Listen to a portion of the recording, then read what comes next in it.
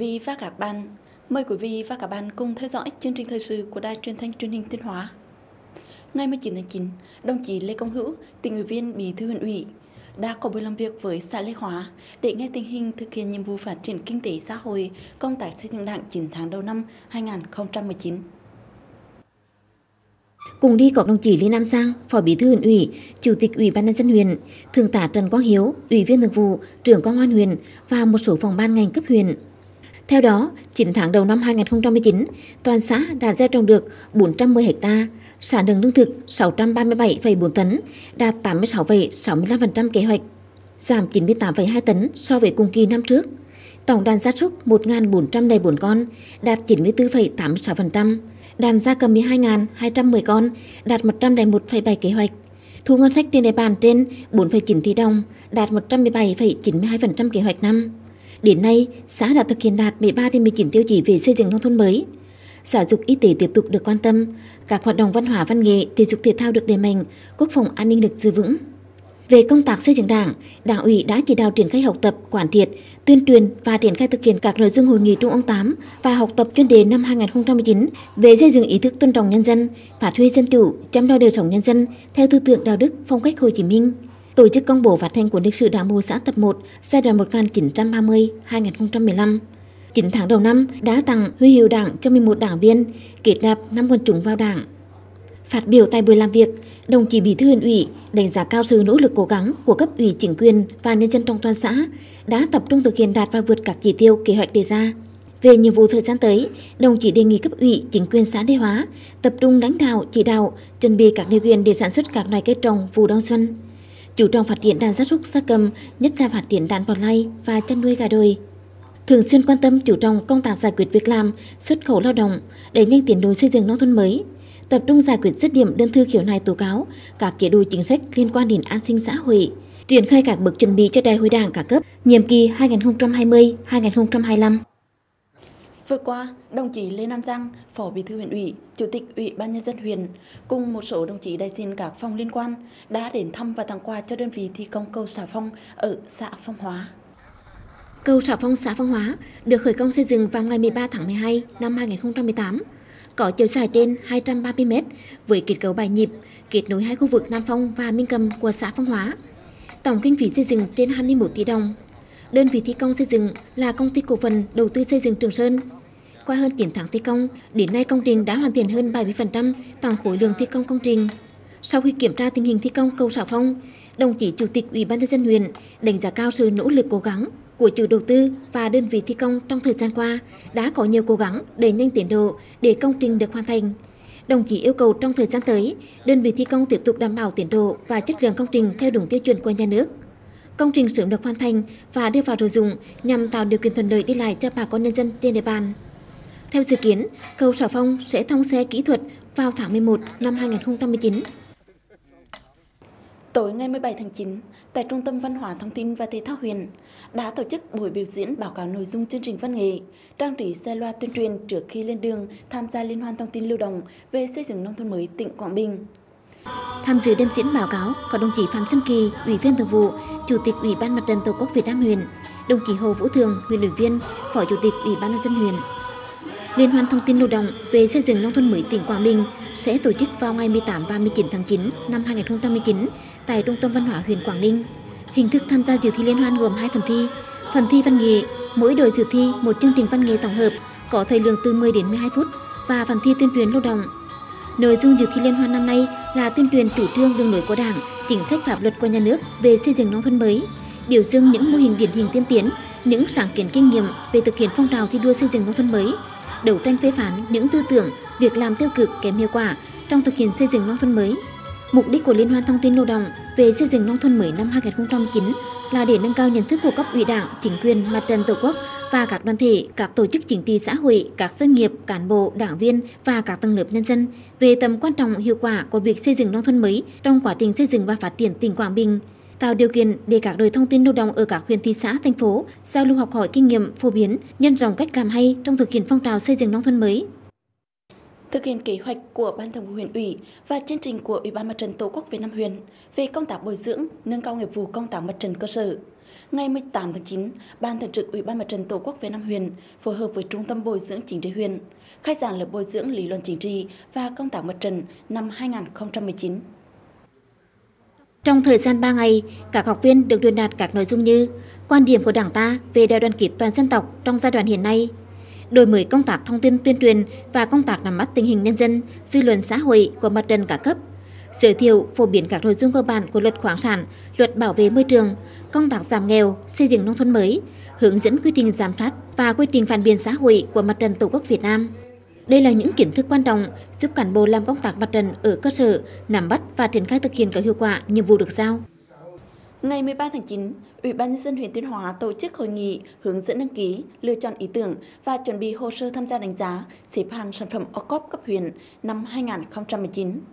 Tham dự có đồng chí Hoàng Chỉ Cương, Phó Chi cục Phát triển Nông nghiệp tỉnh, đồng chí Cao Xuân Tín, huyện ủy viên, Phó Chủ tịch Thường trực Ủy ban nhân dân huyện.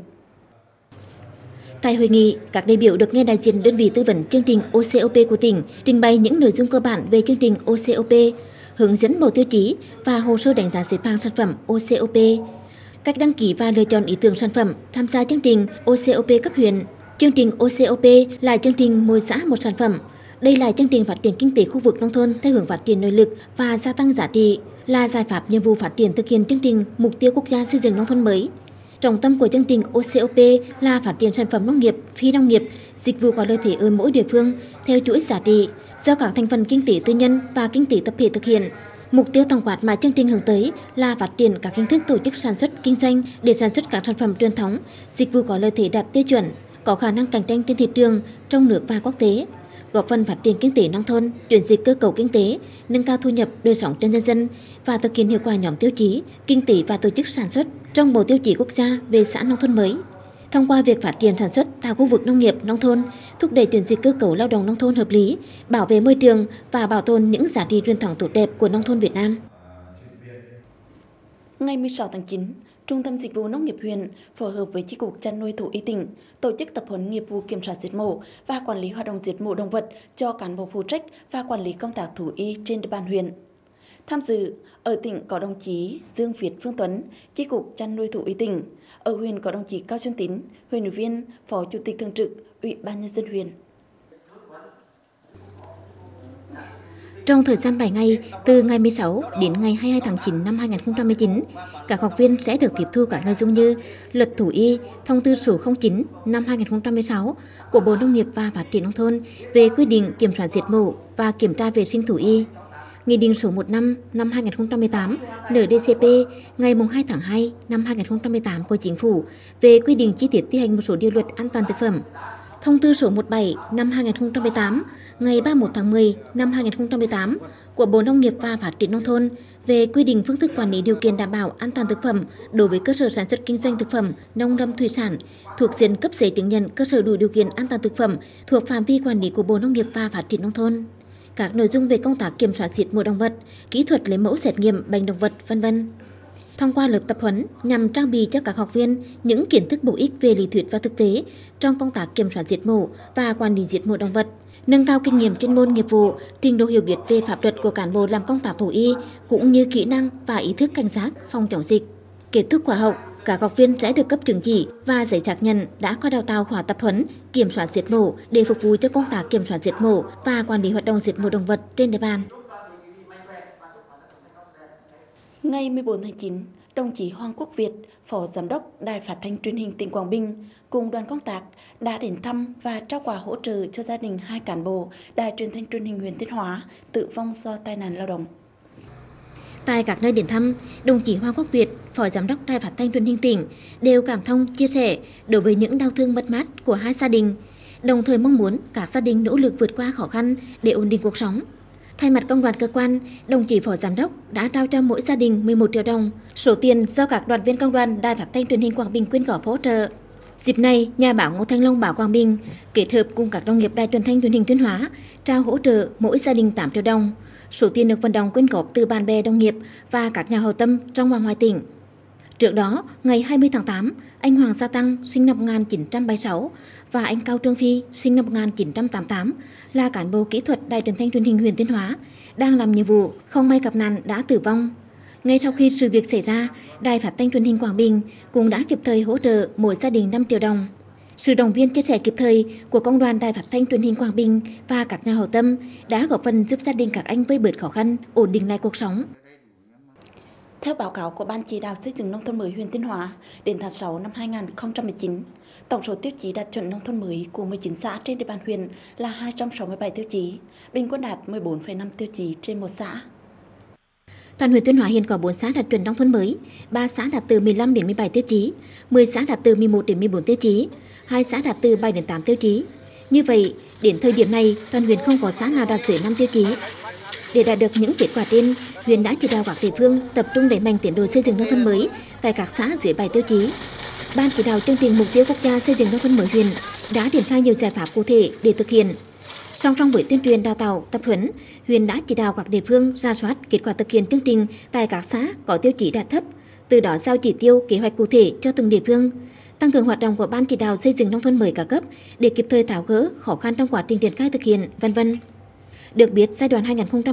2016-2018, tổng nguồn lực huy động thực hiện chương trình xây dựng nông thôn mới của huyện Tuyên Hóa trên 127 tỷ đồng, trong đó ngân sách trung ương 59,5 tỷ đồng, ngân sách địa phương trên 62 tỷ đồng, còn lại là các nguồn vốn lồng ghép, vốn tiền dụng, huy động từ các doanh nghiệp, cộng đồng dân cư. Mục tiêu đến năm 2020, huyện Tuyên Hóa sẽ phấn đấu có thêm 4 xã đạt chuẩn nông thôn mới, không còn xã đạt dưới 11 tiêu chí. Ngày 18 tháng 9, công ty trách nhiệm hữu hạn Thành Ngân tổ chức lễ trao mũ bảo hiểm và hướng dẫn đội mũ bảo hiểm cho học sinh lớp 1 trường tiểu học số 1 Đồng Lê do Honda Thành Ngân và Honda Việt Nam phối hợp tổ chức. Tại chương trình, hơn 100 em học sinh lớp 1 của trường tiểu học số 1 Đồng Lê được tham gia vào nhiều trò chơi vui nhộn, tìm hiểu về cách đội mũ bảo hiểm đúng quy định, lên xuống xe và ngồi trong xe đúng cách an toàn, đồng thời được tặng mũ bảo hiểm đạt chuẩn. Chương trình trao tặng mũ bảo hiểm cho học sinh lớp 1 năm học 2019-2020 được thực hiện trên phạm vi toàn quốc với chủ đề Giữ tròn ước mơ, do sự phối hợp thực hiện giữa Ủy ban An toàn Giao thông Quốc gia, Bộ Giáo dục và Đào tạo và Công ty Honda Việt Nam. Tại huyện Tuyên Hóa, Honda Việt Nam đã trao 1.723 mũ bảo hiểm đạt chuẩn cho toàn bộ các em học sinh lớp 1 tại các trường học trên địa bàn huyện. Đây là một chương trình thiết thực nhằm tăng cường tuyên truyền giáo dục ý thức đội mũ bảo hiểm khi tham gia giao thông bằng các phương tiện mô tô xe máy, xe đạp điện đối với phụ huynh, giáo viên và học sinh, nâng cao ý thức về chấp hành pháp luật khi tham gia giao thông, từ đó hình thành thói quen tham gia giao thông an toàn, chủ động phòng tránh những tai nạn đáng tiếc có thể xảy ra, nhất là đối với các em học sinh. Xã Lâm Hóa hiện có 129 hộ trên 545 khẩu đồng bào dân tộc chất đang sinh sống. Trong những năm qua, với sự hỗ trợ của nhà nước, chính quyền địa phương cả cấp, đồng bào Mã Liềng ở xã Lâm Hóa hiện có cuộc sống ổn định, nhiều hộ gia đình đã chủ động phát triển kinh tế, nâng cao thu nhập, góp phần xóa đói giảm nghèo. Thông qua các chương trình 134, 135 của chính phủ, từ năm 1997 đến nay, Ủy ban nhân dân xã Nam Hóa đã khai hoang được 9,5 hecta đất phục vụ sản xuất, tranh thủ cả quân hỗ trợ trên 50 tỷ đồng để xây dựng cơ sở hạ tầng, hỗ trợ làm nhà ở và phát triển sản xuất. Tích cực giúp đỡ, hỗ trợ đồng bào Mã Liềng sản xuất nông nghiệp, đảm bảo an ninh lương thực ít nhất 9 tháng trong năm. Từ chỗ phụ thuộc vào nhà nước, đến nay, ngoài việc trồng lúa nước và các loài cây hoa màu, người Mã Liềng còn biết chủ động trong chăn nuôi các loài gia súc gia cầm như bò lai, gà, lợn và trồng rừng kinh tế, đem lại mức thu nhập cao, đảm bảo ổn định cuộc sống.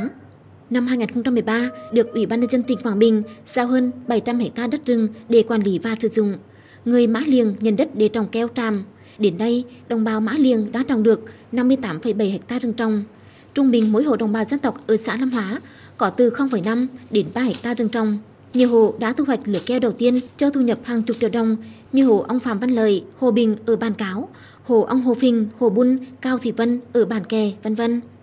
Bên cạnh việc tuyên truyền vận động đồng bào phát triển kinh tế, cấp ủy chính quyền xã Nam Hóa còn tranh thủ cả nguồn lực để đẩy mạnh đầu tư xây dựng cơ sở hạ tầng, giao thông, hỗ trợ các cây con sóng và vật tư phân bón trong sản xuất, góp phần từng bước nâng cao sinh kế, cải thiện đời sống về vật chất và tinh thần cho bà con nhân dân, giúp đồng bào an cư lạc nghiệp. Thưa quý vị và các bạn, thực hiện chỉ thị số 40 ngày 22 tháng 11 năm 2014 của Ban Bí thư Trung ương,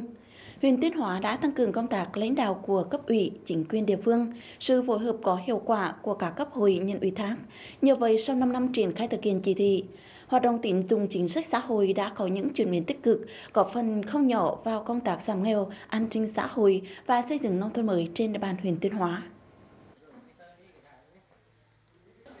Có mặt tại điểm giao dịch xã Đức Hóa, chúng tôi cảm nhận được sự nhộn nhịp khi người dân đến giao dịch nơi đây. Tại đây, cả cán bộ, nhân viên ngân hàng chính sách xã hội huyện đã phối hợp chặt chẽ với các tổ chức hội, đoàn thể thực hiện giải ngân kịp thời hiệu quả đúng mục đích.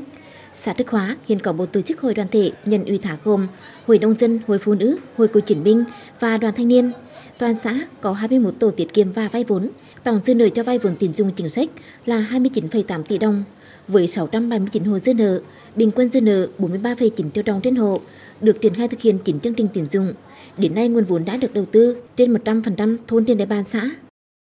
Thì hội phụ nữ đã là chủ động làm công tác tuyên truyền đến là à, các đối tượng chính sách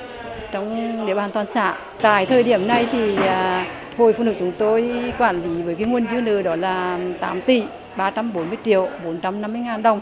trên 271 hộ vay. À, và cái, cái chất lượng của là à, tín dụng thì à, không có nợ quá hạn, không có nợ sâm tiêu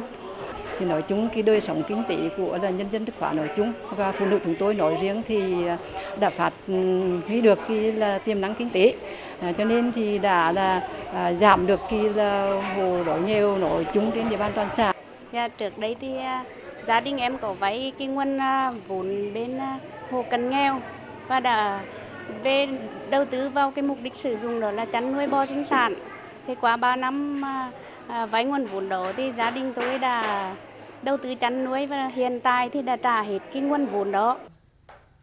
Theo chân cán bộ ngân hàng chính sách xã hội huyện, chúng tôi đến thăm gia đình anh Nguyễn Văn Cường ở thôn Đức Phú 4, xã Đức Hóa. Khi còn là một trong số những hộ nghèo của thôn, gia đình anh không có vốn để phát triển kinh tế gia đình. Vì vậy, khi nhận được thông tin từ nguồn vốn vay ưu đãi của Ngân hàng Chính sách xã hội huyện dành cho hộ nghèo, với hy vọng thoát khỏi cảnh khó khăn, ổn định cuộc sống, năm 2017, Ngân hàng Chính sách xã hội huyện Tuyên Hóa đã quan tâm tạo điều kiện giải quyết cho anh vay 30 triệu đồng từ nguồn vốn vay cho hộ nghèo. Anh Cường đã đầu tư và phát triển chăn nuôi. Trước đây thì gia đình tôi cũng khó khăn đều cùng nhờ nguồn vốn của ngân hàng chính sách cho vay 30 triệu để ờ, nuôi bò sinh sản, sinh là một năm để được một con. Một con ờ, đang bán cái tầm ờ, được ờ, mấy bốn mươi lăm triệu. Gia đình tôi cũng giờ đây cũng bớt khó khăn. Rời gia đình anh Cường, chúng tôi đến thăm mô hình trồng dứa của chị Lê Thu Huế ở thôn Đồng Sơn, xã Sơn Hóa. Chị Lê Thu Huế bắt đầu mô hình trồng dứa của gia đình vào năm 2016. Với số vốn có được, chị chỉ trồng được 6.000 gốc. Năm 2017, nhờ nguồn vốn 58 triệu đồng được vay từ Ngân hàng Chính sách xã hội huyện, chị đã phát triển và nhân rộng mô hình trồng dứa của mình với số lượng hơn 20.000 gốc, được trồng tại hai xã Sơn Hóa và Hương Hóa. Với mô hình dứa này, gia đình chị thu về trên 150 triệu đồng mỗi năm chị cũng đã đạt được một phần nợ vay từ ngân hàng và trở thành hộ khả giả trong thôn. Gia đình anh Cường, chị Huế chỉ là một trong số hàng ngàn hộ gia đình khác trên địa bàn huyện Tuyên Hóa được tiếp cận và sử dụng hiệu quả nguồn vốn vay ưu đãi của chính phủ làm thay đổi cuộc sống gia đình. Trước đây à, gia đình tôi thuộc hộ nghèo của xã, kinh tế gia đình gặp nhiều à, khó khăn. Nhờ sự ờ, giúp đỡ của ngân hàng chính sách xã hội, tôi ờ, đã được vay một số vốn và đầu tư à, vào ờ, trồng cây dứa. Sau khi trồng và nhân rộng mô hình à, thì nguồn thu nhập từ cây dứa đã mang lại hiệu quả kinh tế à, cho gia đình. Nhờ đó đời sống gia đình và kinh tế đã ổn định hơn rất nhiều. Sau gần 5 năm triển khai chỉ thị số 40 CTTU ngày 22 tháng 11 năm 2014 của Ban Bí thư Trung ương, cấp ủy chính quyền địa phương từ huyện đến xã đã nhận thức rõ rệt hơn vai trò vị trí tín dụng chính sách xã hội trong việc thực hiện mục tiêu giảm nghèo, giải quyết việc làm, xây dựng nông thôn mới, đảm bảo an sinh xã hội trên địa bàn huyện. Đến nay, hoạt động tín dụng chính sách đã tăng cả về nguồn vốn, dư nợ cho vay. Hiện nay, nguồn vốn tín dụng chính sách thông qua Ngân hàng Chính sách Xã hội huyện Tuyên Hóa đã thực hiện cho vay 15 chương trình tín dụng, tăng 5 chương trình. Tuyên Hóa là đơn vị có tổng dư nợ cho vay lớn nhất trong 8 huyện thị trên địa bàn toàn tỉnh. Cơ cấu nguồn vốn dư nợ đồng đều giữa các tín dụng, nhưng chủ yếu vẫn là dư nợ cho vay hộ nghèo, hộ cận nghèo. Huyện Tuyên Hóa hiện có bốn tổ chức hội đoàn thể cấp huyện nhận ủy thác, gồm Hội Nông dân, Hội Liên hiệp Phụ nữ, Hội Cựu chiến binh và Đoàn Thanh niên. Có 80 hội đoàn thể cấp xã nhận ủy thác với 322 tổ tiết kiệm vay vốn. Đến nay, trên địa bàn toàn huyện có 6.400 hộ nghèo, hộ cận nghèo vay vốn, có 6.300 công trình nước sạch và vệ sinh môi trường nông thôn được đầu tư hơn 1.000 hộ đồng bào dân tộc thiểu số và hộ nghèo được vay vốn phát triển sản xuất và làm nhà ở, vân vân. Tổng số hộ nghèo, hộ cận nghèo của huyện Tuyên Hóa đến nay còn lại gần 7.924 hộ, giảm 4.862 hộ so với năm 2014. Với sự quan tâm lãnh đạo chỉ đạo của các cấp chính quyền, nguồn vốn tín dụng chính sách được tăng cường, khơi thông và đang được sử dụng có hiệu quả, giúp người nghèo và các đối tượng chính sách khác từng bước vượt qua khó khăn, vươn lên đảm bảo cuộc sống và thoát nghèo bền vững. Kể từ khi có chỉ thị số 40 thì à, vai trò của các cấp ủy đảng, chính quyền địa phương các cấp, đặc biệt là cấp ủy đảng, chính quyền địa phương cấp xã đã được nâng lên rõ rệt. À, cấp ủy đảng, chính quyền địa phương các xã thị trấn đã tăng cường hỗ trợ hoạt động tín dụng chính sách thông qua ngân hàng chính sách xã hội huyện, à, tăng cường hỗ trợ các hộ nghèo, hộ cận nghèo và các đối tượng chính sách khác ở địa phương Ờ, tiếp cận thuận lợi, kịp thời nguồn vốn vay thông qua ngân hàng chính sách xã hội. Thì đến nay hoạt động ngân hàng chính sách xã hội đã tăng cả về nguồn vốn và dư nợ. Ờ, tổng dư nợ cho vay là ờ, đạt 520 tỷ đồng, tăng là 230 tỷ đồng so với thời điểm là chưa có chỉ thị. Về chất lượng tín dụng thì cũng được nâng lên rõ rệt. Về nợ uh, tổng nợ xấu là chỉ chiếm tỷ trọng 0,07% trong tổng dư nợ, giảm là 0,25% so thời điểm là trước khi có chỉ thị. Dạ. Thì trong thời gian sắp tới thì ngân hàng chính sách xã hội huyện sẽ tiếp tục à, tham mưu cho các cấp ủy đảng, chính quyền địa phương thực hiện tốt cái chỉ thị 40 của ban chấp hành trung ương đảng à, về tăng cường công tác hoạt động tín dụng chính sách xã hội trên địa bàn. Mà cụ thể là à, tăng tăng cường tăng trưởng về nguồn vốn và dư nợ tăng cường công tác kiểm tra giám sát nâng cao chất lượng tín dụng tại cơ sở. Có thể khẳng định qua gần 5 năm thực hiện chỉ thị số 40 CTTU đã tạo nên những hiệu quả hết sức thiết thực giúp người dân Tuyên Hóa thay đổi nhận thức, tư duy làm ăn, xóa đói giảm nghèo bền vững. Đây chính là nguồn lực quan trọng trong việc hoàn thành tiêu chí về tỷ lệ hộ nghèo trong chương trình mục tiêu quốc gia xây dựng nông thôn mới. Để tiếp tục nâng cao hiệu quả chỉ thị của Ban Bí thư Trung ương, thời gian tới, cấp ủy chính quyền trên địa bàn huyện tiếp tục nâng cao chất lượng hoạt động tín dụng của Ngân hàng Chính sách xã hội huyện, nâng cao chất lượng kênh tín dụng chính sách, từ đó tạo đòn bẩy kinh tế, kích thích hộ nghèo, hộ cận nghèo và các đối tượng chính sách vươn lên làm ăn kinh tế, đồng thời định hướng giúp đỡ các hộ vay sử dụng vốn hiệu quả và phù hợp với thực tế của từng địa phương. Chương trình thời sự của Đài truyền thanh truyền hình Tuyên Hóa đến đây xin kết thúc. Mời quý vị và các bạn cùng xem lại chương trình tại website truyền hình tuyên hóa.com. Cảm ơn quý vị và các bạn đã quan tâm theo dõi. Xin kính chào tạm biệt và hẹn gặp lại.